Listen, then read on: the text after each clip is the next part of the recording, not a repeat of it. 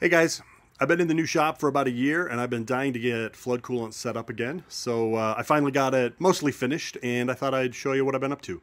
So I had flood coolant when the shop was in the basement and the enclosure was made out of white shower curtains held up by a frame of PVC and there were a few things about that system I didn't like. And then a few years ago when I moved the shop into the garage, I pretty much threw that whole system away. Coincidentally, that's about the time I stopped using all my tools. Uh, but now that I'm in the new shop, I've just uh, been making a mess, so I really wanted to get flood coolant set back up again.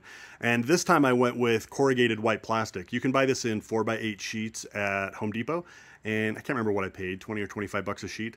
And uh, you can just score it with a razor knife and then bend it, and then I screwed it to the inside of the pan, and it seems to be working totally fine. Uh, let's see, let me show you some of the other stuff. So I was using that Kool Rite 2290, um, but I only had about an inch of it left in the gallon jug, and I couldn't seem to get another gallon of it. So I went with this Alphasol 190, which apparently is exactly the same stuff. So right now I've got six gallons of tap water plus 56 ounces of Alphasol down in the sump. The sump is just a tote like it was before, and the sump pump is the same Harbor Freight sump pump I was using in the old system.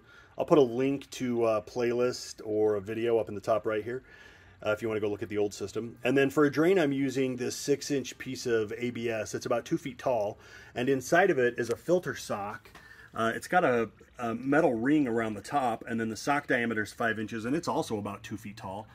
Uh, I picked that up from McMaster. I, I want to say they're around $15, and I bought several of them when I built my old flood coolant system and never used them, so I thought I'd finally put those to use.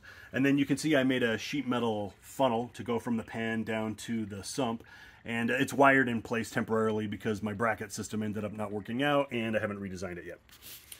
Uh, let me bring you inside the pan. I changed the drain. There used to be a sink drain right here, but I hated how quickly it would pack full of chips. So what I did was I cut a 4x11 rectangular slot and then I 3D printed this flange in two pieces, uh, this half and then half over here. And then I uh, fiberglassed and epoxied them together and flush into the bottom of the pan. So that seems to be working pretty well. For the pre-filter, I'm using hardware cloth. This is about quarter inch spacing, maybe 3 16ths. And there's two sheets of that. And then in between is just screen door, like the nylon window screen stuff. And so this seems to be working pretty good. It's not great. Um, it's still a little bit uh, restrictive, and I'll show you why in just a minute, or I'll show you that it is in just a second. Uh, over here is the plumbing. It's just PVC again, and there's a valve. Uh, you can see it's not turned up all the way because it turns out it's uh, still too much volume. And then that goes into this manifold that I made this week, and I'll roll in some footage at the end of the video of me making that. And then I've got four Loc-Line nozzles, and I went with four because Sam has four on his Precision Matthews, and I didn't want to be outdone. Uh, I want the Grizzly to be as, you know, have as many nozzles as the Precision Matthews. So there you go, Sam. I was originally running quarter inch uh, tips on the nozzles, but it was still just too much volume uh, for the amount of pressure. So I've gone down to an eighth inch and uh, I think I like that as a compromise. I've also got 16th inch nozzles, so I could step it down one more time. I don't think I will. But uh, yeah, I think that's pretty much it. Oh, out here, uh, this isn't finished, but this is going to be for my uh, wash down hose. Uh, there'll be an adapter here and then some uh, Flexzilla garden hose, like five feet. And then that'll just go to a sprayer. And I wanted it outside. I had it inside in my last enclosure, and I remember I don't remember exactly why I didn't like it, but I remember that I didn't like it. So this time I did it on the outside, and I'm sure it'll make a giant dripping mess down here on the floor.